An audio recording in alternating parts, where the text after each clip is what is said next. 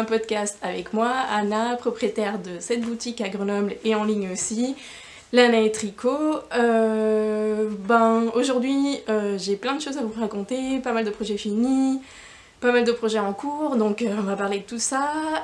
Petit rappel habituel, vous pouvez retrouver la boutique sur les réseaux Instagram et Facebook sous l'année tricot. Euh, la boutique en ligne aussi c'est lanae-tricot.com et sur Ravelry vous, trouvez euh, sous l'année boutique le compte de la boutique avec le groupe de la boutique où on, fait, tous les cales euh, et où vous pouvez poser des questions où vous pouvez aussi partager avec nous toutes et tous.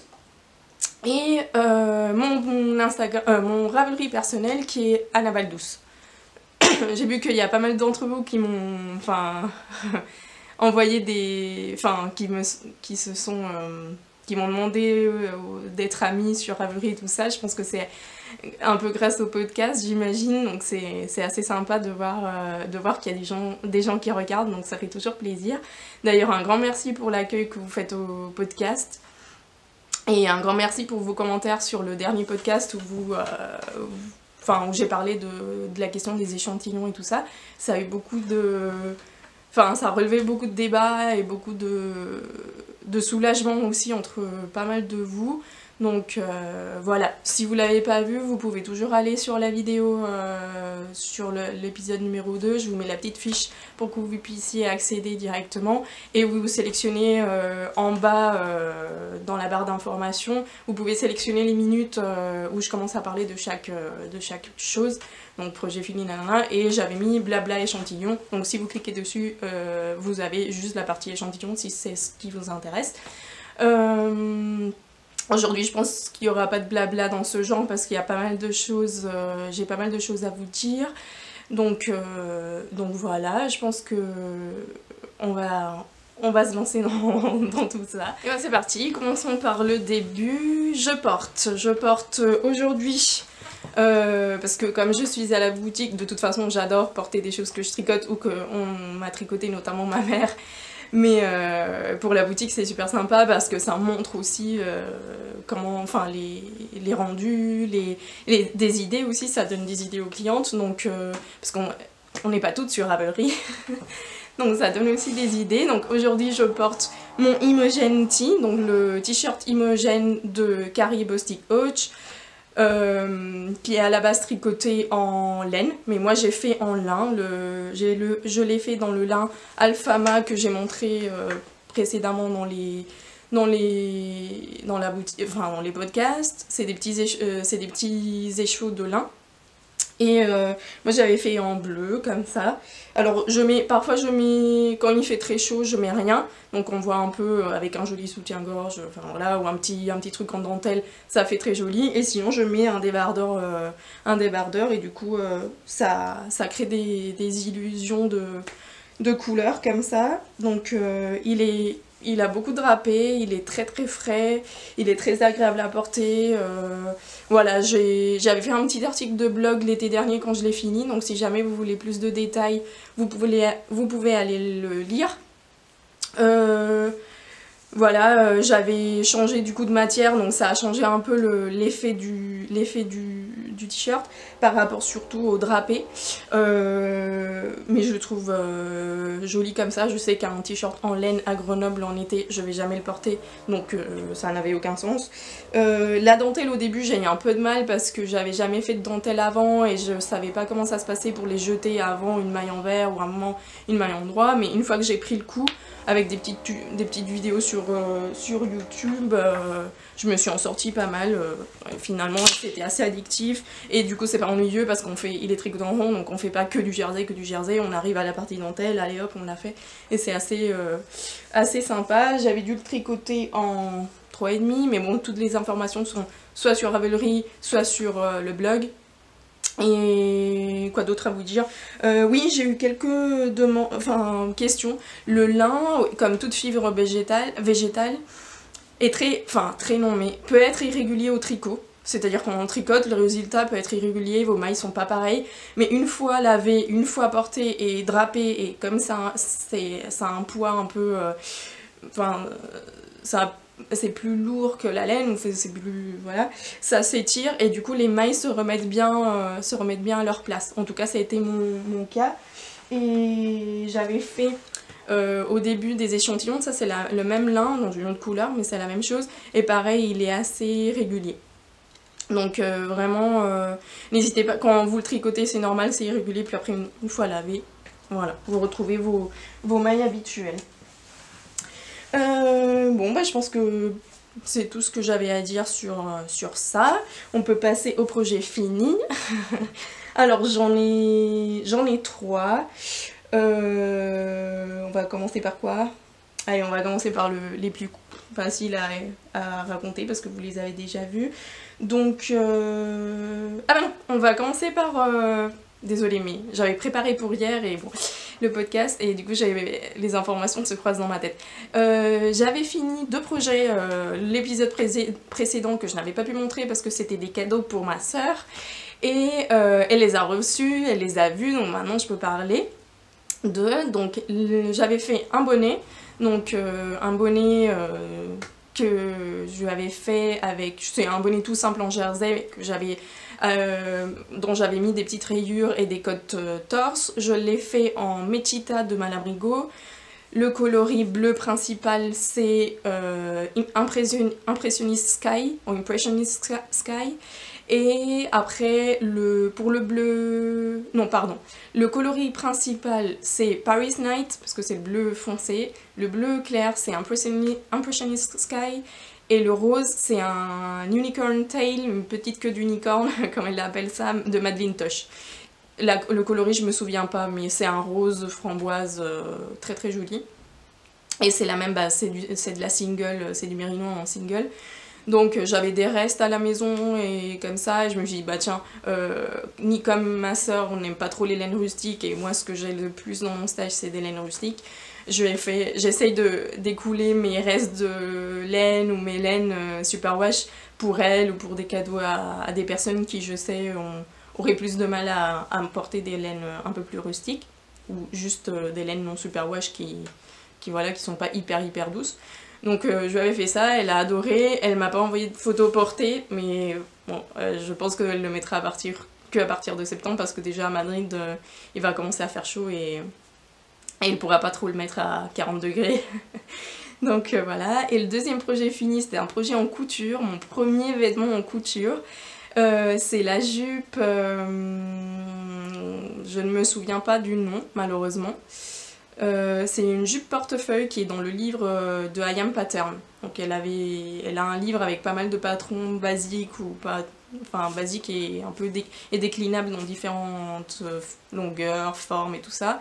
Et là, c'est la, la, jupe portefeuille qu'on peut adapter à trois longueurs. Moi j'ai fait la longueur la plus courte parce que mon tissu n'allait pas, ne me, me permettait de, mettre le patron mais pas, en, pas plus long. Et elle est très très simple à faire, donc euh, j'ai pas de mérite particulier.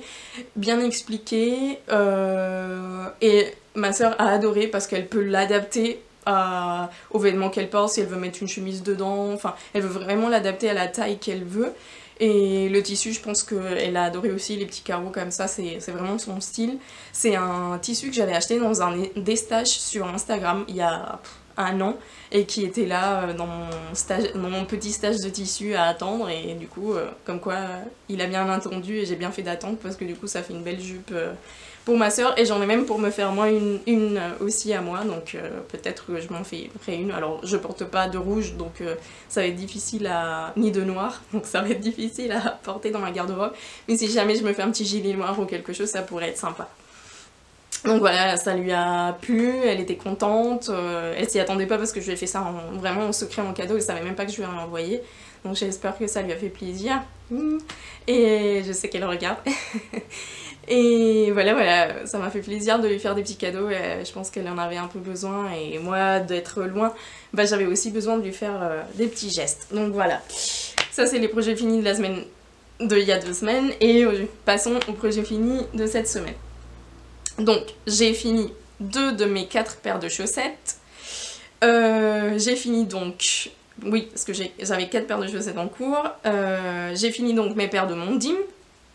Alors les, j'avais expliqué, c'est ma recette euh, personnelle. Et quand je parle de Vanilla Sock, Vanilla, c'est en anglais, euh, d'ailleurs on en parlait l'autre jour avec Laura et Melissa, Vanilla c'est tout simple, c'est un patron tout simple euh, en jersey, vraiment la recette de chacun qui va bien. pas prise de tête particulière. Donc moi, mon, recette vanilla, c'est 64 mailles. En général, je fais pour moi des côtes torse parce que j'aime bien ça. Jersey, talon après coup, donc là vous le voyez, talon après coup, donc c'est un talon qui se fait après euh, avoir tricoté la chaussette, après coup, et une pointe classique, euh, diminution classique. Donc je commence par le haut et je finis par la pointe avec du Kitchener, du Kitchener Stitch ou du grafting pour le talon et pour la pointe. Euh, rien à dire sur cette chaussette, j'ai un peu tout dit, c'est la laine Mondim, donc est-ce que je vais retrouver la même couleur? Hop, elles sont juste à côté de moi pour me tenir bien compagnie, donc c'est celle-ci. À ne pas confondre avec celle-ci. J'ai vu sur Instagram que j'ai eu des questions là ce matin. Euh, oui, les, étiquettes sont similaires, mais c'est pas du tout la même laine. C'est la même marque. Euh, ceci dit, mais ça c'est la laine que j'avais utilisée pour mon Aveiro. Donc quand, quand il y a la petite fille, c'est la laine recyclée, laine et coton.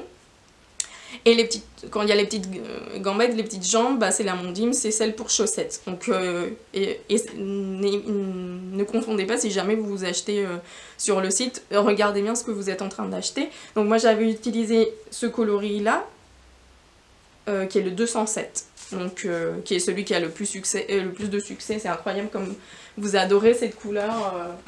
j'en commande, j'en commande, j'en commande, ça n'arrête jamais.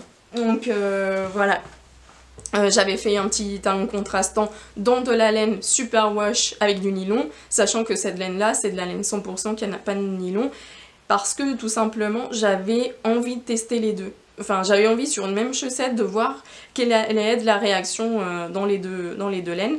Et après si j'avais le talon après coup, c'est pour ça aussi que j'aime bien les talons après coup, parce que si jamais ils s'abîment, ils feutrent, ou euh, ils sont vraiment déjà troués et tout ça. Il, s'agit juste de couper le talon après coup, d'en remettre un autre dans une autre laine et on, garde, on garde notre, notre paire. On peut toujours conserver la paire. Si le, reste est en état, il euh, n'y a pas de souci. Donc euh, voilà, voilà la deuxième. Ah, elle était par terre. voilà ma paire, donc je suis hyper contente. J'ai posé une petite photo de moi et mon copain en portant les chaussettes. Parce que mon deuxième objet fini, c'est la paire de monsieur, qui sont beaucoup plus grandes que la mienne, on dirait presque que j'ai des petits, pieds d'enfant, alors que je fais un 38, c'est une taille standard. Euh, lui fait un 44, donc c'est assez standard aussi pour un homme. Euh, tricoté, pareil, vanilla, pour lui je fais des côtes de 2, hum, talon après coup, talon, euh, pointe aussi dans le vert contrastant. alors je pense qu'à l'appareil il ressort pas tel qu'il est, mais c'est un vert, enfin hyper fluo, euh, hyper fluo. Il est très très beau, il a plein de paillettes. Donc c'est la base Fuzzy Fit de mon Chip Shop. Euh, si vous avez jamais testé euh, les autorayantes, une seule adresse, c'est Cindy. Non seulement parce qu'elle fait des, rayures qui en plus sont qui changent de couleur, comme les grises là, vous voyez, et que ces, rayures sont extrêmement régulières, mais enfin, c'est un travail de dingue. Euh, elle, quand elle, est venue, elle nous, disait que si dans une journée normale, elle pouvait teindre jusqu'à 100, 120 ou 130 chevaux, dans une journée normale de physique, de, ouais, de autorayante, elle en faisait 18. Donc imaginez le travail que ça demande. C'est fou quoi. Et en plus, non seulement elles sont jolies, tout ça, sa base, elle est super. En fait, c'est une base qui n'est pas hyper retordue, c'est une base, je pense, de ply, donc avec deux fils. Elle est moelleuse. Euh, on va se régaler à partir de l'hôtel. Donc ça, c'est des choses finies. Euh, ensuite, euh, troisième projet fini. Et le dernier, enfin ouais c'est le dernier, c'est mon Carbeth Cardigan de... Enfin, euh, le design c'est euh, Cake Davis, oh là là. Euh, le voici, le voici, la bête, la bête qui est magnifique en rose. Voilà, si vous voulez, je, je, vais, je vais la mettre, même si bon, c'est pas le temps de mettre un pull en, en worsted presque bulky. Comme ça, je vous explique euh, un peu la construction euh, de ce, de ce cardigan, qui existe aussi en version pull. Je vous l'avais montré euh, l'épisode précédent, la version pull et la version gilet, la version cardigan. Donc, c'est un gilet court. Donc, est-ce que je veux peut-être me lever? Je sais pas si vous allez voir grand-chose. Donc c'est un gilet un peu court que moi j'ai rallongé de, je dirais presque 5 cm. Euh, parce que j'aime, voilà, euh, il est déjà quand même assez court, il m'arrive euh, juste au-dessus du pantalon et c'est un pantalon un peu taille haute. Donc il est... Mais ça change, j'aime bien. les bras pour une fois ils sont pas courts, hein, parce que j'ai toujours des problèmes avec ça, a toujours les bras qui remontent. enfin les bras, les manches. Autre spécificité du patron, c'est qu'il est, assez loose, il a beaucoup d'aisance. Euh, comme ma laine et mon, échantillon n'étaient pas bons, j'ai fait la... Hmm, trou de mémoire. Quatrième taille cinquième taille, je vous dirai ça, euh, je mettrai ça sur, sur, la page Ravelry. Donc euh, j'ai fait quand même une taille assez grande alors que moi normalement j'aurais fait la deuxième pour avoir l'aisance recommandée. C'est un patron bottom-up, donc on fait d'abord le corps, puis les manches, euh, les manches ont des... elles sont un peu larges, mais j'aime bien, euh, ça change. Euh, j'ai du coup, une fois qu'on fait le corps et les manches, on rassemble au niveau du yoke et on fait le yoke. Alors ce qui est joli dans ce patron, et je vous montrerai tout à l'heure le dos, c'est qu'on fait des diminutions qui sont marquées, très bien marquées, du coup ça crée une sorte de triangle, de triangle comme ça à partir des diminutions. Et quand on a presque plus de mailles pour le, les deux devant et le corps, mais on ne fait pas des diminutions pour les manches, du coup ça fait des manches euh, comme ça. Euh, les manches sont entières, puis c'est le, corps et le, corps qui diminue. Et euh, bah, une fois qu'on a fait ça, on fait le col. Alors pour le col, on fait un long col en côte et on le rabat et on fait un rabattage à trois aiguilles. Donc le col, c'est pour ça qu'il a mis trois jours ou quatre à sécher malgré la chaleur qu'on a eue. Parce que le col est double et du coup il met beaucoup beaucoup de temps à sécher. Euh, mais il est, euh, il est chouette. Alors moi ce que j'aimais le moins dans le cardigan, euh, c'était le col parce que je ne porte jamais de choses à enfin, avec des cols roulés ou des choses comme ça, jamais jamais. Donc euh, j'avais un peu peur et on en avait parlé avec ma mère, mais comme j'ai fait un rabattage serré, je me suis rendu compte après, le col, si vous regardez chez elle, il est presque... presque enfin il, il, entoure comme ça et le mien il est plus près du, du cou comme ça presque comme un petit jacket donc ça me dérange aucunement je l'aime mieux comme ça que en plus elle elle avait comme il est il est grand chez elle elle avait mis un bouton là un bouton là et finalement ça me plaisait pas plus que ça. Donc euh, moi je lui ai mis des boutons mais j'ai commencé euh, d'ailleurs je pense que si je la ferme en fait je la fermerai uniquement qu'à partir du deuxième bouton euh, du deuxième bouton je mets toujours un châle ou quelque chose du coup ça me gêne pas. Euh, puis une fois qu'on a fait le col, on fait les bandes de boutonnage. Alors il faut faire un certain ordre de choses, parce que oui il faut faire les bandes de boutonnage, puis après il faut faire le rabattage je pense, et après on finit, alors ça c'est un détail qui est assez chouette et que je n'avais jamais fait, on finit par un icorn tout le long du, gilet, euh, et du coup le icorn sert aussi comme bande de, de, boutonnage. Enfin, on fait les, boutonnières euh, au même temps qu'on fait le high cord. Du coup, euh, ben, je veux pas trop vous dévoiler le patron, mais on va, on suit des étapes pour arriver euh, à la bande de boutonnage. Et puis après, j'ai mis les boutons de Atelier Camlire que, que j'ai ici à la boutique. Je regarde là parce qu'ils sont là. Et j'avais repéré depuis qu'elle me les avait apportés euh, ces boutons, parce que c'est il faut des boutons de 2 cm et demi, et c'est pile la taille.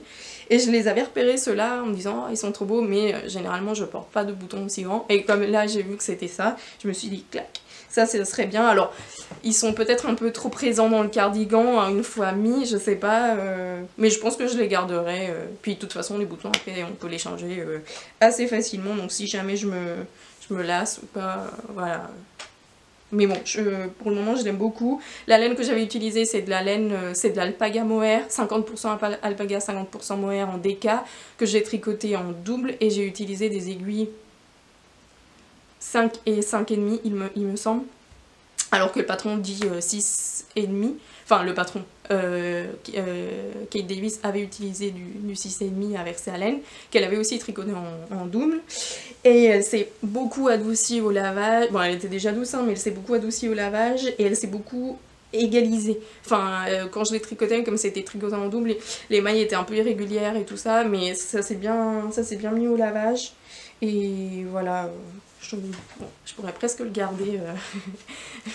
vous savez que je suis assez frileuse. Je vais juste vous montrer le, dos pour que vous voyez la forme un peu triangulaire euh, que ça crée.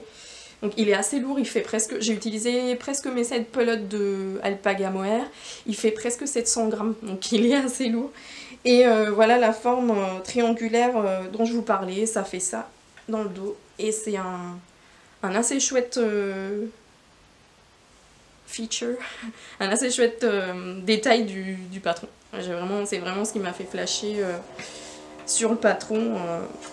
ça me plaisait beaucoup, beaucoup. Enfin, la construction est sympa. Il est en 10 étapes. Le patron fait 2-3 feuilles. En 10 étapes, vous avez, vous avez les explications. J'avais jamais tricoté de patron de Kate Davis et ils sont bien expliqués, c'est sommaire, euh, des petits détails qui font la différence tout en gardant un design très simple. Parce que moi j'aime bien les, j'aime les choses simples mais qui demandent quand même un effort, euh, un petit effort intellectuel. Ben là c'était le high faire les diminutions, une diminution que j'avais jamais faite qui est le LLD, donc lateral left left leaning decrease. Enfin, il y a des petits détails comme ça qui font, vraiment la différence. Et, mais tout en gardant quelque chose de simple et de, basique euh, pour ma garde-robe. Alors oui, il est rose avec des gros boutons en, aquarelle. mais pour moi, c'est basique. La forme en tout cas. Euh, voilà, rien à dire. Si vous, vous voulez vous lancer et que vous avez de la laine un peu épaisse à la maison... Euh, c'est un patron qui se tricote en quoi une semaine. Moi j'ai mis un peu plus de temps, mais franchement en une semaine, que ce soit le pull qui est en plus un patron pour débutants aussi, et celui-là, euh, allez en 10 jours vous avez un gros pull pour l'hiver qui vous attend, euh, ou que vous pouvez commencer dès, le début de l'hiver pour avoir un, petit, euh, petit quelque chose de chaud et d'agréable à porter. Donc euh, je pense que c'est tout. Si vous avez des questions, n'hésitez pas. Euh, c'est des patrons, le pull et le cardigan qui ont été énormément tricotés. Ça a été incroyable le boom qu'ils ont eu. Et il y a toutes les versions, vous allez sur Ravelry, euh, il y a vraiment toutes les versions. Il y a des gens qui l'ont rallongé plus, voilà. Mais je pense que la longueur va me plaire. En plus, c'est quelque chose que je peux mettre sur un autre petit pull en fingering, en hiver comme ça douillet. Je le porte à même la peau alors que c'est de l'alpaga. Euh, en même temps, vous savez que je craigne pas trop, mais non, franchement, c'est de la belle laine. Et j'ai un peu peur au niveau du poids, c'est pour ça que je ne l'ai pas trop rallongé non plus, parce que je me suis dit, si jamais l'alpaga fait que... Enfin, le poids de l'alpaga fait qu'il prend un peu plus de taille, bah, ce sera pas plus mal. Mais en même temps, je voulais pas, du coup, qu'il soit, soit trop long et qu'il perde un peu la le charme du, du, patron qui était aussi le fait d'avoir un petit cardigan un petit cardigan court. Et voilà. Je suis contente euh, d'avoir fini ça même si je ne le porterai pas tout de suite tout de suite. Donc euh, c'était un win-win. Donc euh, allez je regarde ma petite liste c'est tout bon. On va passer au projet en cours. Donc je vais rattraper... je me suis lancée dans un test knit que je n'ai pas encore commencé. C'est un test knit de chaussettes en laine rustique avec du jacquard. J'ai jusqu'au 28 mai pour le faire. Donc euh, là, comme j'ai de la famille à la maison, je le commencerai euh, début mai. Donc je le rentrerai aussi pour le cal euh, tricot. que je, je, suis dans l'équipe Miss Marple avec ma maman. donc on est à fond. Euh, si vous y êtes pas, ben dommage, mais la prochaine fois, enfin c'est une bonne ambiance, c'est assez sympa. En tout cas, merci les filles de l'avoir organisé. Donc euh, j'ai le test knit que je vais commencer, mais ça disons que c'est presque un projet très qui va futur, mais bon pas trop. Euh, j'ai repris doucement mes Fragment Socks qui sont les chaussettes du Laine Magazine numéro 4. Euh, je vous rappelle qu'on organise le CAL Laine Magazine numéro 4 dans le groupe de l'ALAE si jamais vous voulez participer ou voir les photos des projets finis parce qu'il y en a pas mal. Enfin, il y en a pas mal, non, il y en a quelques-uns. Donc là, je les ai reprises très doucement. J'avais fait ça euh, en aiguille IA de 25. Laine euh, Mon Chip Shop, craquante, coloris Indiegogo.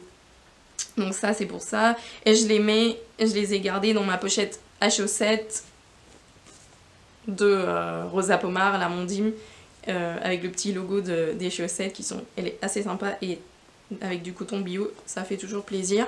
Hop, donc ça, je les reprends petit à petit parce que mon but c'est de finir toutes les chaussettes que j'ai en cours avant d'en castonner une autre. Bon, là je vais castonner mon testnit Mais bon, euh, la quatrième paire d'ailleurs que j'avais en cours, je l'ai détricotée parce que euh, je les ai faites très rapidement euh, sur des aiguilles bof et je les trouvées trop serrées. Donc je me suis dit bon, de toute façon, c'est de la laine commerciale qui n'est pas d'une extrême qualité. Donc je les ai détricotées, j'ai mis la laine en pause. Je pense que je ferai la prochaine paire de chaussettes pour mon copain. Ce sera dans cette laine là. C'est une laine qui fait du faux jacquard, donc elle est assez marrante et assez rapide à tricoter. Mais du coup, j'ai préféré préféré euh, froguer, comme on dit maintenant, donc détricoter.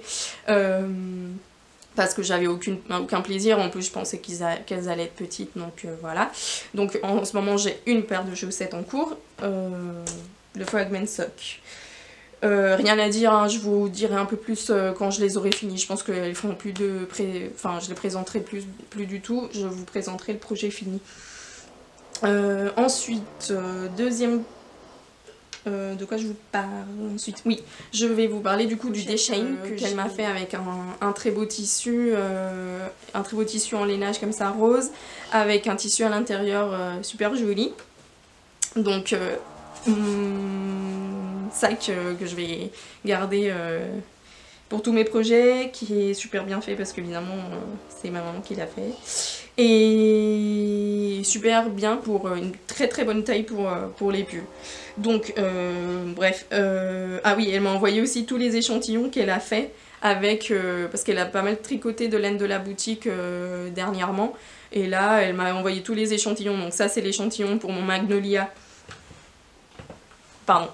Pour mon Magnolia qui est fait en alpaga et mohair de langue. Je vous montrerai un quand elle me les finira. Là, elle est en train de le faire. Le Magnolia, c'est le patron de pull qu'il y a dans Laine Magazine 4. Là, c'est de la Donegal de Langue est, elle est aussi en train de faire un gilet, un pull pour ma sœur. Euh, petit échantillon de la Shetland de BC Garn qui est toute douce euh, parce qu'elle va faire le Vow de Gudrun Johnston qui est un patron pour Brooklyn Tweed avec un yoke en jacquard et ça c'est un... Alors c'est peut-être pas ma mère qui l'a fait celui-là ou si, je sais pas. Euh, ça m'a l'air, mais euh, Merino, je dirais 120 de langue. Euh, regardez comment elle fait ses échantillons. Elle les fait un peu plus courts, mais elle les fait un peu plus longs, de 10 cm, donc pour bien les caler. Je reviens à mon affaire d'échantillons. Et elle met la division. Donc elle change bien d'aiguille aussi. C'est moi qui lui ai donné ces petites astuces. Et ils sont tous faits fait comme ça ou presque. Là, pour le BC Garn aussi, elle a fait la petite délimitation pour voir avec quelle aiguille euh, ça lui plaisait le plus. Donc euh, voilà. Euh, fait la pause d'échantillon, c'est fini. Ah, et encore un autre en Mérino s'en va, là, elle avait fait un patron pour ma sœur de Carrie Bostic aussi, on est des grandes fans de Carrie. Donc on est la team Carrie, on aime beaucoup beaucoup ses patrons. Euh... Du coup, des chaînes, on revient aux affaires qui nous intéressent. Donc euh, j'ai castonné euh, le week-end dernier, enfin j'ai commencé le week-end dernier, j'ai pas lu le patron, j'ai fait je ne veux pas faire de couture, donc je commence et, je ferai, je séparerai pour les manches prochaines. Quand je regarde le patron, ce n'est pas du tout un... Euh, alors, que je me trompe pas, c'est pas un bottom-up, mais un top-down. Donc comme je voulais le faire sans couture, c'était pas trop possible, parce que du coup comment est-ce que j'allais caler les manches, bref. Donc euh, j'ai détricoté, ça arrive, j'ai détricoté, je me suis dit ok je vais faire les 15 cm, parce que j'ai regardé sur Patron, il y a 15,5 cm de d'emmanchure, puis après on a le corps, qui a pas de diminution, c'est vraiment deux carrés dos et devant, et des petites manches euh, qui sont tricotées en, en rond, je vais enlever ça parce que j'ai trop chaud. Euh, donc euh, je me suis dit, bon d'accord, bah, je vais tricoter... Euh, hop, c'est bon. je vais tricoter 15 cm du dos, je vais tricoter les 15 cm du devant. Et une fois arrivé à l'emmanchure, je vais les mettre en rond et je vais tricoter le corps en rond. Comme ça, ça m'évite de faire les coutures, les coutures de, des côtés. Et surtout pour moi, l'important c'est de faire des mailles, éviter de faire des mailles en verre. Parce que je me rends compte que quand je fais du point jersey à plat, j'ai des douleurs au coude. Et c'est une espèce, ça réveille un peu une sorte de tendinite que j'ai eu euh, il y a un, an, un peu plus d'un an. Et, si je peux éviter de faire des mailles en verre répétition, euh, c'est quand même mieux. Donc, euh, puis ça évite aussi les coutures. Donc là, euh, voilà ce que j'ai fait. Je crois qu'on doit atteindre 30 ou 35 cm. C'est un patron qui est un peu crop, cropped et très très avec beaucoup d'aisance. Je vous mettrai la photo. Euh, donc normalement il est comme ça. Donc j'ai commencé du coup par le cou. Je ferai la couture. Là je vais faire la... Quand je finirai la pelote qui est en cours là, euh, il me reste ça.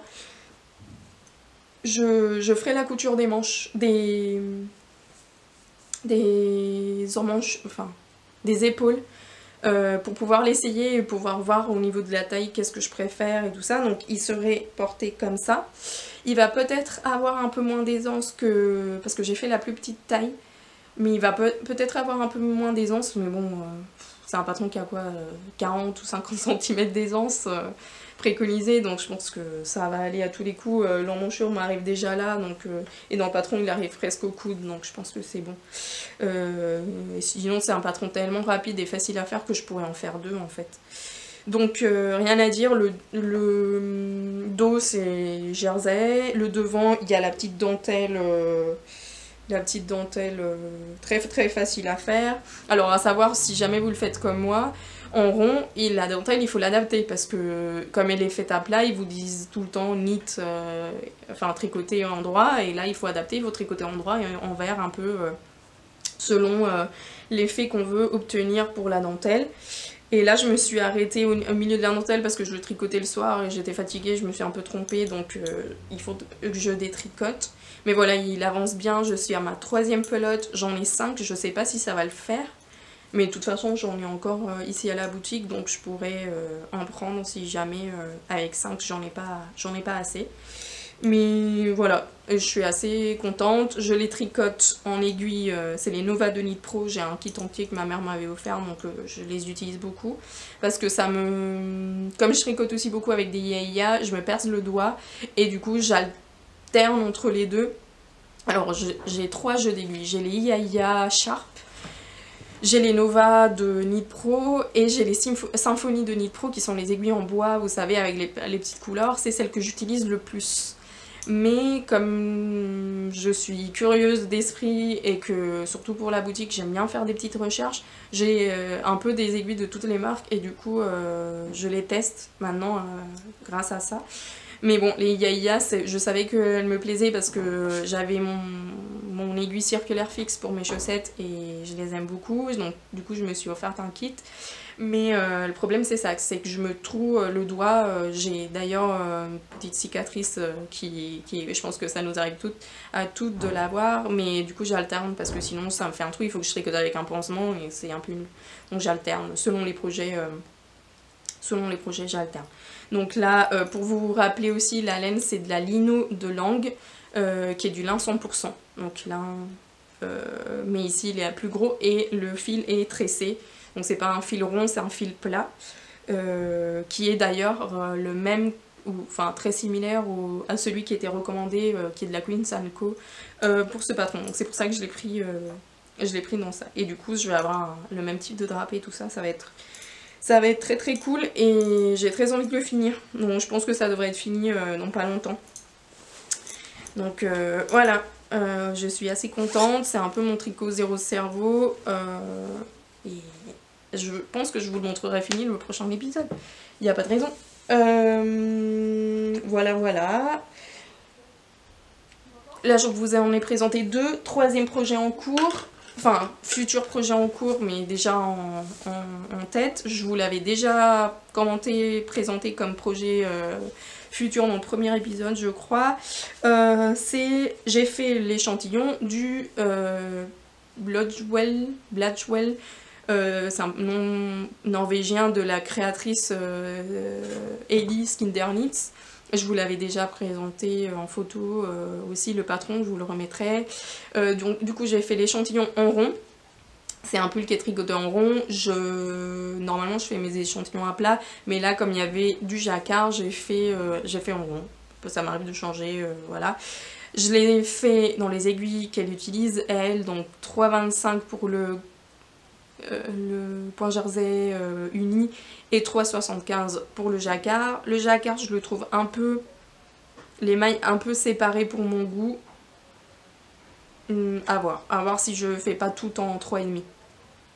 J'ai dit 3,25 Non, c'est 3,5 et 3,75. Donc euh, peut-être que je ferai tout en 3,5. Euh, c'est encore en réflexion. Mais j'attends euh, Laura, parce que Laura, elle participe au Suck Madness, qui est un cal où il faut faire une paire de chaussettes tous les 15 jours, il faut finir la paire, tout ça, elle est à fond. et du coup, là, elle est en train... Elle a dû déjà finir sa paire qui, est, sortie dimanche dernier. Et, du coup, on va... Normalement, on castonne le même jour. Et bon, après, chacun, chacune tricotera à son rythme. Laura, elle aura bien sûr fini bien avant moi. Mais euh, du coup, on s'attend parce que c'est un projet qu'on s'était dit qu'on allait faire ensemble. Donc pour le bleu, ce joli bleu, euh, j'utilise la Jamison Smith que j'avais dans mon stage. Là, c'est tout des laines de mon stage. Et de la Roma, euh, qui est la laine recommandée pour le patron, qui est de la laine norvégienne. Tout ça non superwash. Euh, que j'avais reçu, reçu il y a un an et demi, deux ans, dans un swap. Et cette laine, je l'avais reçue, je ne les connaissais pas du tout. Et comme quoi les laines, elles ont toujours un projet qui est destiné. il faut juste qu'on attende et puis ce projet se, se, présente un jour et vous avez besoin de ces laines-là. Donc c'est des laines que j'avais utilisées dans... Enfin, que j'avais reçues dans le stage, que j'avais jamais utilisées. Ça, c'est de l'écru et ça, c'est un bleu-gris un peu. Et voilà, j'étais pas sûre, sûre de mon choix de couleur, mais finalement, il me plaît beaucoup... Euh, il me plaît beaucoup une fois tricoté. Donc je... Mon choix est fait, je vais le faire comme ça et, voilà, euh, j'attends Laura en fait pour castonner un pull, euh, un pull que je mettrai euh, en septembre, en jacquard. Hop. On a pochette Pom Pom Mag que j'avais aussi acheté au Festival d'Édimbourg en 2017. Ça fait que des jolis souvenirs. D'ailleurs, j'avais pensé à vous parler de ça.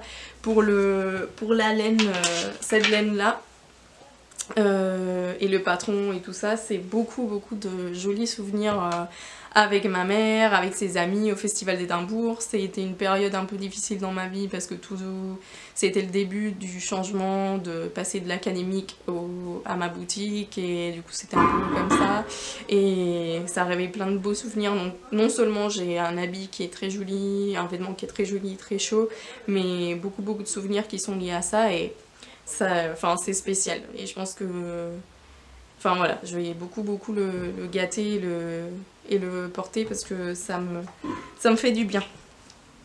Bref. Euh, 3, 4, j'ai perdu le j'ai perdu le compte.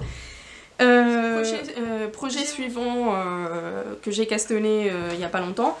J'utilise les laines, des laines teinte à la main super wash. comme quoi on est plein de contradictions. Euh, du coup, c'est de la Greta on the Fibers euh, de mon amie Marga, que j'ai rencontrée aussi au Festival d'Edimbourg 2017, euh, qui est une personne adorable et avec qui on s'entend extrêmement bien. elle est basée à Barcelone, donc c'est mon petit pied en Espagne, en tout cas pour les teinte à la main. Je les ai en boutique aussi, j'ai un reste et là je vais en recevoir fin mai, normalement ça devrait se travailler comme ça. donc ça, c'est sa base Raval. Merino nylon, euh, dans ses elle, elle appelle ses speckles chispas, donc euh, voilà. Et là, c'est sa base euh, laine nylon, donc c'est pas du mérinos, mais elle est, elle est vraiment très très douce aussi. Hein. aucun, c'est ce que j'ai d'ailleurs à la boutique et tout le monde les aime beaucoup. Dans son, sa technique de teinture ou ce qu'elle appelle chalky. donc là, c'est un violet lavande un peu. Et là, on a du teal, donc du vert canard avec des touches de fuchsia et un peu de violet et c'est sur une base écrue. Donc euh, avec ces deux écheveaux, c'est du fingering 400 mètres, blablabla, vous connaissez. Euh, je suis en train de faire le Kelias, mais euh, c'est un Kelias version fade. vous allez comprendre pourquoi. celles qui ont fait le Kélias, qui est un châle de Bérangère, de Lilophile. Allez hop, et toi comme il faut. Bon. Voilà, donc ça c'est le début. Il est, il y a, on est censé avoir des rayures, il n'y a pas du tout de rayures parce que mes bases sont très similaires en coloris, mais ça me gêne pas parce que du coup ça va faire une sorte de dégradé. Et après ça va faire un bloc en cheese pass et un bloc en chalky. Et du coup ça va faire quelque chose de très nuancé. Euh, je pense que ça va être super pour le printemps. Et c'est quelque chose que j'avais envie de faire pour mettre en avant les laines de Marga à la boutique. Euh, voilà, donc euh, ça avance petit à petit, c'est mon tricot boutique, parce que j'ai toujours un petit tricot en boutique, voilà, quand j'ai un petit moment de pause ou quand j'ai envie, j'ai besoin de réfléchir, je me mets un peu à tricoter, et puis les idées circulent de... Enfin, ça m'aide à à mettre en ordre mes idées, mettre en ordre euh, les choses que j'ai à faire, mettre en ordre... Parfois je suis un peu chaotique, euh, quand j'ai beaucoup de choses à faire, je, je stresse et du coup un petit, un, un, petit moment de tricot ça m'aide à, à, faire, je me mets avec mon, mon, cahier à côté et du coup je fais ok il faut que je fasse ça, ça, bah, ça me fait... Mon flux de pensée se se concentre vraiment sur les idées et pas sur tout ce que j'ai à faire ou tout ce qui est accessoire. Et du coup ça, me permet vraiment de me concentrer. Donc je fais ça, euh, je fais ça euh, régulièrement. Ou sinon quand j'ai un moment ou quand les filles viennent se poser un peu à la boutique je tricote. Donc euh, voilà ça va avancer petit à petit mais ça va j'ai envie de le finir pour le mois de juin. Avant le mois de juin. Je vous dirai pourquoi plus tard Je, les tricote. Et là ça a été un grand débat euh, personnel, euh, je savais pas si vous les présenter ou pas. Euh, j'avais acheté avec Cindy les aiguilles Lika, Lika. Enfin c'est un nom imprononçable, c'est L-Y-K-K-E je pense, qui sont des aiguilles en... Je pense pas que ce soit du bois mais bon elles simulent du bois, qui sont très à la mode et qui sont... On a beaucoup parlé d'elles euh, dans les podcasts anglophones euh, et tout ça. Moi je suis une grande fan des aiguilles en bois euh, Pro, je les utilise beaucoup, euh, pas pour tous les, projets, pas pour toutes les laines, mais en général c'est mes aiguilles de préférence. là je peux vous dire qu'on n'est pas sur du bois-bois, ça doit être une sorte de de création avec un peu de bois, de la colle, du plastique, je pense. Hein. Il n'y a pas de composition, j'ai pas trouvé la composition dans, le sachet. Donc on avait essayé, on avait mm, acheté ça avec Cindy pour essayer, pour les tester, euh, tant pour elle, pour moi c'est intéressant, et en tant que tricoteuse, euh, voilà. Et en tant que pour la boutique, euh, j'avais envie de mettre quelques marques, c'était à la période où j'avais envie d'introduire une deuxième marque à part Knit Pro, et finalement je me suis décidée pour Yaya. Euh, de toute façon, je suis en constante recherche, en constante... Euh, ça fait partie de mon travail aussi de, tester les produits, de faire des recherches. Et euh, la première chose que j'avais faite avec, c'était du Magic Loop. Ça s'était bien passé. Les pointes sont agréables, cependant, je préfère les Knit Pro. parce qu'elles sont un peu plus lourdes, on sent le bois. Là, on... je sais pas, mais bon, elles sont agréables. Et les Knit je trouve qu'elles sont un peu plus pointues aussi. Donc euh, bon, elles sont agréables. Hein. Euh, au niveau du, joint, il n'y a pas de souci. Elles sont très très fluides. Mais pour moi, le grand mais, c'est le câble. Euh, ça fait presque cheap. Enfin, vous, enfin, vous voyez là, il est irrigide, mais pourtant pour du Magic Glue, ça m'avait pas plus que ça embêté. Mais maintenant que je suis en train de tricoter le châle, mais euh, vivement que le câble soit complet parce que je, quand je me mets à tricoter dessus, ça fait une boucle rigide et j'ai beau le mettre euh, dans tous les sens, en fait, il rebondit. Enfin, en tout cas, les 3,5, c'est du 3,5, les 3,5 fixes, c'est pas trop mon, mon délire. Peut-être que euh, dans des je sais pas si dans les jeux d'interchangeable le câble est un peu différent, mais franchement c'est un câble en plastique, rigide. Enfin, il n'y a pas moyen, alors il faudrait peut-être que je le mette dans de l'eau chaude pour, euh, pour euh, essayer de le ramollir un peu, mais... Ou peut-être pour un pull, tricoter un pull, euh, ça tiendrait bien les mailles et du coup voilà. En tout cas pour, des, pour ça, pour ce projet-là, j'ai presque envie de changer d'aiguille tellement le câble est rigide et me Et pourtant j'ai tricoté avec des chiagous, j'ai des chiagous et le câble est un peu plus rigide, mais le fait qu'il soit métallique à l'intérieur, il s'adapte. C'est différent. Là, on est vraiment sur quelque chose de très rigide et moi personnellement, c'est mon avis à moi, hein, euh, c'est mon avis et ça ne, ça, ça ne n'engage que moi. Le câble pour ce type de projet ne me va pas du tout. Voilà. Euh, mais bon, les aiguilles sont très agréables. Le, c'est assez fluide à ce niveau-là, donc euh, en tout cas pour les fixes, je sais pas pour les circulaires et les interchangeables, euh, les interchangeables, donc ne me demandez pas parce que je n'ai que cette paire-là, donc c'est pas, c'est pas parce que moi j'ai cette paire-là et que je vous dis ça que les aiguilles sont pas bien, non, non, c'est vraiment sur le 3,5 fixe de l'IKE et plus rien d'autre. D'ailleurs, je m'achèterai si je peux, euh, pas tout de suite, mais peut-être je testerai les interchangeables pour voir. Euh, voilà, euh, je les mettrai pas en boutique, pas parce que je les aime pas ou pas parce que tout ça, mais parce qu'ils demandent un très gros, une très grosse somme de commandes que je ne peux pas assumer, je ne peux pas assumer en tout cas euh, dans le futur.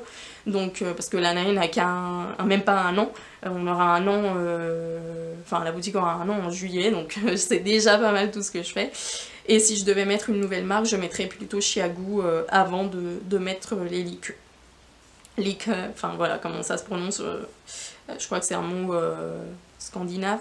Donc voilà, en tout cas pour la pointe, pas mal, le cam, moi j'ai dit.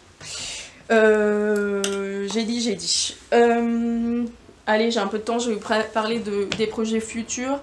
Bah, projet futur, c'est mes montées de chaussettes, mais c'est aussi... Oh euh, c'est aussi un gilet qui me fait l'œil depuis qu'il est sorti. C'est un patron gratuit de Rachel, ça y est pas.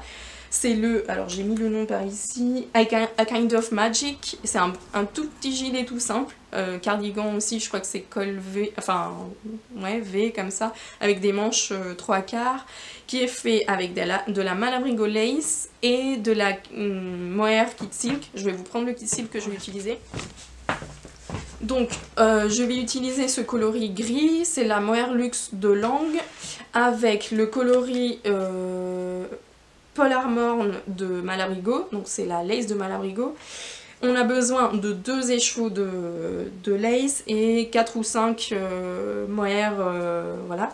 Donc là c'est un ton un peu lavande avec du gris et je vais pour abaisser un peu, le, baisser un peu les tons de lavande, mettre du gris bleuté je pense que ça va être assez joli, euh, ça me donne vraiment envie.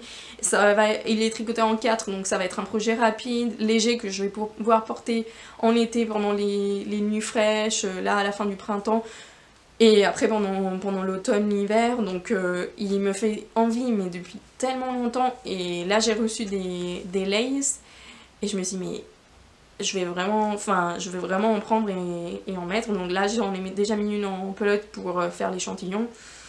Euh, et, dès que j'ai fini un de mes projets, parce que j'ai quand même le déchain, le pull et le Tesnit qui sont des projets durs ou qui ont un besoin, enfin durs, euh, plus important au niveau de, de temps.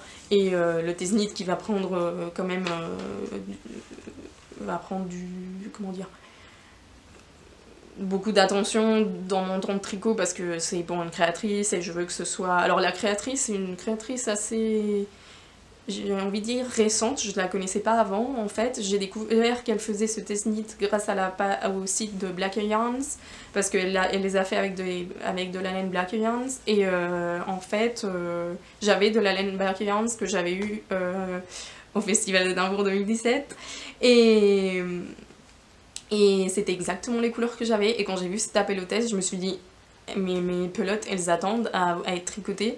Et il y a ce knit qui est lancé ça me fait tricoter une nouvelle paire de chaussettes en jacquard que je n'ai jamais fait, en chaussettes en tout cas, aider une, euh, une créatrice et sortir des laines de mon stage, donc c'était parfait. Euh, donc je vous mettrai le nom de la créatrice si vous voulez aller voir. Je crois, si je ne me trompe pas, qu'elle a sorti un modèle pour le nouveau livre de Making, Stories de, des filles euh, Verena et Annalisa. Pour, euh, ils vont sortir un là, au, bah, je crois qu'il sort euh, bientôt, là, incessamment sous, peu. Et c'est un, livre, ça va être un livre plutôt été, printemps-été, avec des t-shirts et ce genre de choses. Et cette créatrice-là, qui a fait, dont je fais le test knit de chaussettes, a sorti un patron dedans. Donc voilà, je la découvre aussi, elle, grâce à ce patron, c'est assez sympa. Euh, voilà, ça c'est. Euh, je vais vous parler de euh, deux petites choses. comme d'hab, une création de quelqu'un de la, enfin d'une des clientes de la boutique ou des amis de la boutique. Et un petit projet dont vous avez déjà entendu parler certainement, mais comme j'y collabore, je sponsorise d'une certaine façon, ça me tient à cœur de, de, vous en parler. Mais je vais faire ça brefement pour pas vous ennuyer ou répéter des choses qui ont déjà été dites. Donc euh, j'ai reçu de la part de Lily donc, euh, les petites cartes de, de l'écheveau solidaire. Donc euh, écheveau solidaire c'est une sorte de collectif qui aide l'association, alors je vais le lire là, l'association c'est Vaincre la dysplasie, fibreuse, qui est la maladie, une maladie orpheline dont souffre Gaïa, la petite fille, de Lily, d'Ophélie, et euh, elle a créé toute une démarche euh, pour euh, collecter de l'argent, enfin pour avoir des dons et de l'argent, tout en, inspirant plein de designers teinturiers à, l'accompagner dans cette recherche de dons et de et d'argent pour pouvoir faire de la recherche dans cette maladie-là. Moi j'ai fait depuis, depuis le début euh, je enfin les patrons les laines je savais que je j'allais pas forcément en, consommer ou en j'allais pas m'acheter de, m'acheter de la laine parce que voilà j'ai euh, j'ai pas de salaire donc euh, j'ai pas trop d'argent pour m'acheter des laines enfin après j'en ai plein en boutique aussi dont j'ai envie de tester donc euh, voilà et j'allais pas forcément faire les patrons euh, qui allaient sortir à ce moment là au, tout début je vous parle au tout début mais il y en a qui vont sortir là maintenant et je suis sûre qu'il y en a qui vont plaire. Donc j'ai fait moi individuellement un petit don à l'association directement parce que vous pouvez aussi faire un don sans passer à travers les designers et tout ça. Et j'ai fait un don et du coup, Lily m'a contacté, elle a repéré que c'était moi, et à travers ça, on s'est mis en contact. Donc, elle m'a envoyé des petites cartes que vous pouvez retrouver sur la boutique, euh, ici à Grenoble, à la boutique, et que je mets aussi dans les petites commandes, euh, dans les petites commandes en ligne. Donc, comme ça, vous avez, après, vous avez toutes les informations derrière, euh, et c'est Sakadi qui a fait le petit logo. Euh, une autre chose que j'avais envie de vous dire, oui, je suis, du coup, je vais sponsoriser un, des cals organisés euh, dans le cadre de l'écheveau solidaire. Je vais faire un petit cadeau, euh, un petit lot. Je mettrai un petit sac à projet fait par moi-même avec certainement un kit à chaussettes qui avait été fait, enfin qui a été fait en collaboration avec Ekemade. Donc elle les a fait, elle les a fait pour la boutique, pour l'Anae. Ekemade c'est une teinturaire qui est local euh, à Grenoble, enfin qui est pour nous local, et qui va à Clamart. Donc si vous allez à Clamart, vous aurez le plaisir de la, de la rencontrer. Allez lui faire un petit coucou, elle est, elle est adorable, et elle fait de super patrons de chaussettes aussi. Ça c'est euh, le patron de chaussettes qu'elle a fait euh, avec la laine. Et en fait c'est une spécialiste des perles, donc elle, elle incruste des perles, des perles dans la dentelle, enfin c'est un travail de, de super-héros. Donc voilà, euh, voilà ce que ça donne d'ailleurs. Si vous intéresse, euh, vous pouvez les retrouver euh, sur la boutique en ligne. Donc voilà ce que la laine donne tricoté. Voilà, donc je ferai une petite pochette, ça, et des aiguilles 25 mm, ça sera mon lot, ça sera le lot Lanae pour la personne gagnante. Donc euh, comme ça vous savez, si jamais vous hésitez, vous pouvez vous inscrire. Euh, ça sera dit au moment donné dans quel cas ça va être et tout ça tout ça. Je sais pas encore si j'ai trop le droit de le dire. Donc euh, voilà, ça viendra au moment, au moment donné, je, je vous donnerai encore plus d'informations. Voilà. et pour finir du coup le podcast, je, je vais vous présenter un projet qui avait été fait par mon amie Julie. Julie qui m'avait offert, euh, vous savez, les petits écheveaux euh, de laine teinte naturellement la dernière fois. Et elle avait fait pour moi, donc, enfin pour moi, pour la boutique, pour l'Anae, elle avait fait euh, le boucanier shawl, qui est un châle fait par la femme de Martin Zlam, donc Justina Lorkowska. que d'ailleurs, si vous faites des petits, des petits achats dans la boutique actuellement, je, comme ils m'ont envoyé pas mal de de patrons imprimés euh, avec la photo, les explications et tout ça. Si vous faites des achats en ligne en ce moment, un des petits cadeaux, c'est un des petits patrons de Justina euh, imprimés avec la petite photo et tout, ils sont super, euh, sympas. Donc ce châle qui est le boucanier, maintenant disponible en français aussi, a été tricoté par Julie. Donc il est dans les laines de Martin Slam, il est très agréable à porter, ce dégradé est juste super sympa. Euh, on l'avait choisi en rose parce que c'est ce qui est resté dans les mini écheveaux, je vais vous montrer à quoi ça ressemble. C'est ce qui est resté dans les mini écheveaux et du coup ça, ça restait, ça restait, personne ne les prenait. Et j'ai dit à Julie tiens ça te dirait pas parce que Julie, Julie adore tricoter des châles et adore tricoter de la laine single. Donc ce projet était écrit pour elle. Et du coup, comme j'ai toujours besoin d'un peu d'aide euh, pour, euh, pour tricoter à la boutique, parce que moi toute seule, euh, je n'y arriverai jamais à en sortir, à tricoter toutes les laines et tout ça, elle, s'est prêtée au jeu et du coup, elle m'a fait ce, très joli modèle fait du coup les laines de Martin's Lamb. Donc la base c'est celle-ci, c'est un gris très très clair, très nuancé, qui s'appelle Snow Illusion. Donc normalement vous avez besoin de deux écheveaux, mais je vais vous donner une astuce. Et les mini. Les mini ressemblent à ça, c'est six petits mini, donc vous avez 120 grammes. Euh, dans des dégradés. Donc là, c'est le dégradé de bleu que vous avez euh, dans les photos principales du patron, ou une des photos principales du patron. Donc c'est la même chose que les roses, mais en bleu. Et c'est, je regarde en face parce que c'est là que j'ai mes Martins Lam, et c'est le seul dégradé qui me reste là actuellement. Ils ont un succès fou. Ces petits, on dirait des petits bonbons. Et donc voilà, donc avec ça et ça, en fait, ça vous fait le kit euh, pour faire le bocagna. Alors, petite astuce, si vous tricotez serré, si vous tricotez là, je vous prenez les deux écheveaux parce que vous n'en aurez pas assez. Mais si vous êtes tricoté serré, comme c'est le cas de Julie, on s'est rendu compte que euh, pour ce patron, on peut très bien le faire dans un seul écheveau de, de gris. Et le petit détail, c'est qu'on a fait une bordure, donc la on finit par là. Donc la dernière bordure, on a, ref, on a fait un rappel, euh, on a fait un rappel avec les couleurs. Donc euh, en fait, tout ce que vous voyez en coloris, euh, euh, dégradé, c'est ce qu'on aurait eu besoin du deuxième écheveau. Comme là c'était de la laine de la boutique et que si on pouvait épargner un écheveau pour qu'il soit vendu, c'était tant mieux, on l'a fait comme ça. Et du coup ça m'a permis, euh, permis d'avoir un écheveau en plus pour vous en disposition et ça a permis de faire un petit rappel qui est assez sympa parce que du coup quand on le porte, on voit plus, il y a plus de couleurs. Donc bon là je vais le porter n'importe comment, mais voilà, ça rajoute, euh, ça rajoute de la couleur dans une base qui est quand même euh, assez claire. Donc, euh, donc voilà, si jamais vous tricotez serré, je, vous dis bien, Julie elle, est comme moi, on tricote, nos échantillons sont assez compacts, donc voilà. mais sinon ça peut vous faire, Laura par exemple elle l'a tricoté avec deux échos, elle a utilisé presque un demi écheveau. Euh, et le sien est, un peu plus grand. Donc, euh, donc voilà, ça dépend vraiment de, encore une fois, de la façon de tricoter de chacune ou de chacun. Donc euh, voilà, voilà, à tenir ça en compte. Je pense, mais je vérifie quand même que j'ai tout dit. Donc voilà, je viens de recevoir un arrivage de Martin's Lab, allez jeter un petit coup d'œil.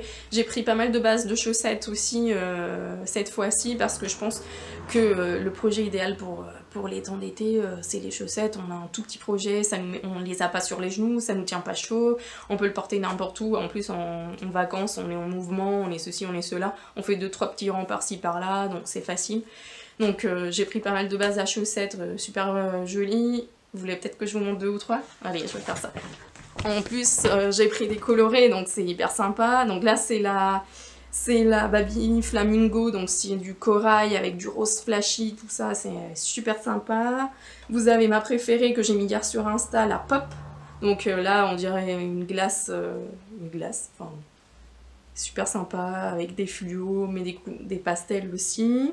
Il y a la, le coloris euh, principal, enfin son coloris à lui, le plus connu à Martine, c'est le Caterpillar. Donc c'est un vert avec des, nuances fluo. Euh, rose, vert, jaune. Ça c'est... j'adore. Et euh, le Applejack qui est un pastel orangé avec du rose, du jaune et du orange. Donc euh, sur une base écrue. Donc il y en a encore, il y a encore un autre un peu vert. Puis après vous avez les mérinos, les confits mérino classiques, donc du mérino 100%, et des singles, et les, les Wistiti là, les, les mini. Donc voilà, c'est vraiment... Je ne fais que les regarder parce que les couleurs sont magnifiques. Donc voilà, euh, avec tout ça, je vous dis au prochain épisode. Je vais tourner un épisode en, espagnol bientôt. Vous n'êtes pas obligé de le regarder si vous parlez pas espagnol. De toute façon, je vais faire, euh, comme je vais faire un en espagnol tous les la fin du mois, je vais répéter un peu tout ce que j'ai fait tout ça. Pourquoi en espagnol ben, Parce que c'est ma langue maternelle. Euh ça me rapprochera de la communauté espagnole qui est en train de faire mais plein plein plein de trucs et super intéressant. Et moi ça fait presque... Euh, j'aurais presque envie de faire partie de cette communauté-là parce que, parce que voilà, euh, c'est le pays où j'ai grandi, c'est là où il y a ma famille et mine de rien, euh, même si je suis hyper bien en France, les personnes comme ça ont fait on est entre deux cultures, entre deux langues, euh, où on, est, on a changé de pays, tout ça, on est toujours un peu divisé. Divisé non, on est construit par toutes ces cultures, mais en même temps on aimerait être euh, tout le temps partout. Parce qu'il y a toujours des petits trucs qui nous manquent, soit d'un côté, soit de l'autre. Et, voilà, donc j'ai envie un peu de, de, faire l'aventure euh, du côté espagnol, enfin, ou en langue espagnole. Et, voilà, donc vous allez peut-être voir circuler aussi si vous êtes, vous êtes abonné à la chaîne euh, des petits épisodes en espagnol. Donc, euh, donc voilà. Merci beaucoup et à bientôt. Salut